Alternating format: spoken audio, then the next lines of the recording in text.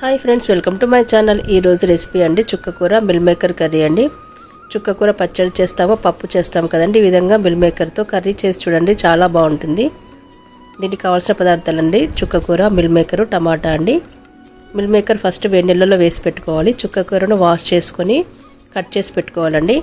ఇప్పుడు ఒక ప్యాన్ తీసుకొని ఆయిల్ వేసుకోవాలి. హీట్ అయిన తర్వాత జీలకర్ర ఆవాలు వేసుకోవాలి. ఆనియన్ అంటే కొంచెం ఎక్కువగా వేసుకుంటే బాగుంటుందండి. ఈ విధంగా సన్నగా కట్ చేసి వేసుకోవాలి. ఆనియన్ ఫ్రై అవ్వాలండి. ఆనియన్ ఫ్రై అయిన తర్వాత పచ్చిమిర్చి కరివేపాకు వేసుకోవాలి. ఇది రైస్లోకి చపాతీలోకి చాలా బాగుంటుందండి.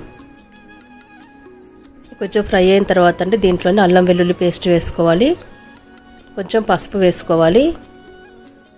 నా వీడియోస్ అన్నీ చూడండి ఫ్రెండ్స్. నచ్చితే లైక్ చేయండి షేర్ చేయండి. కొత్తగా చూసేవారు నా ఛానల్ని సబ్స్క్రైబ్ చేసుకోండి ఫ్రెండ్స్.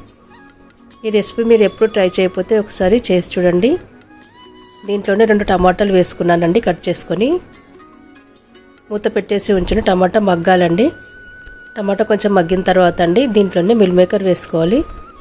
మిల్ మేకర్ అండి వేడి నీళ్ళ నుంచి తీసేసండి. ఒకసారి నార్మల్ వాటర్తో వాష్ చేసుకొని ఈ విధంగా చిన్న ముక్కలుగా కట్ చేసుకున్నాను. నేను తీసుకున్న మిల్ మేకర్ పెద్ద సైజు అండి అందుకే చిన్నగా కట్ చేసుకున్నాను. మిల్ మేకర్ వేసి ఒక నిమిషం ఫ్రై చేసుకున్న తర్వాత దీంట్లోనే చుక్కకూర వేసుకోవాలి.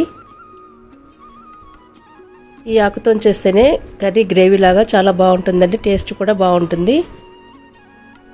ఈ ఆకు తొందరగా మగ్గుతుందండి. మూత పెట్టేసి ఉంచండి ఒక టూ మినిట్స్ అండి. చూసారు కదా ఈ విధంగా మగ్గిన తర్వాత అండి దీంట్లోనే మీ స్పైసీని బట్టి కారం వేసుకోవాలి. ధనియాల పొడి ఉప్పు కారం అండి. గరం మసాలా మీరు కావాలంటే వేసుకోండి. ఇవన్నీ వేసుకున్న తర్వాత కొంచెం వాటర్ వేసుకోవాలి. మూత పెట్టేసి ఉంచండి ఒక టూ త్రీ మినిట్స్ అండి.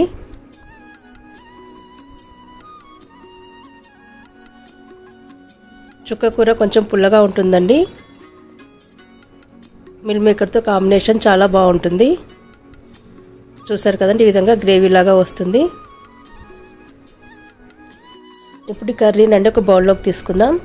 ఈ రెసిపీ మీకు నచ్చితే లైక్ చేయండి షేర్ చేయండి. Thanks for watching bye friends